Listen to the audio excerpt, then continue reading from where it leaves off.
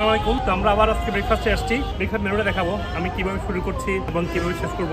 আমাদের সাথে আছেন অত্যন্ত honourable doctor Tim doctor Sumaiya doctor সুরার্দি সবাই অত্যন্ত গুণীজন, বিজ্ঞান আপনারা চেনেন। আছেন ডক্টর সামি ডক্টর চারিয়া। ইটস এ গ্রেট টাইম আমরা শেয়ার উইথ ইউ তো আজকে ব্রেকফাস্ট একটু ডিফারেন্ট ওই দিনের মতো আইটেম ছিল না। আজকে ছিল আমাদের সালাদ ডিম ছিল।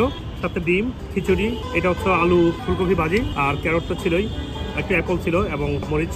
তো আমি দেখাচ্ছি এই জন্য যে দেখুন আমি যখন খেতে শুরু করেছি আমি প্রথম সালাদ খেয়েছি to load with some enzyme and some fiber and some minerals and some acid, you know. And after that, I will have some of my uh, lemon. Lemon is acid too, enzyme, fiber, again same thing. And then I have some salad.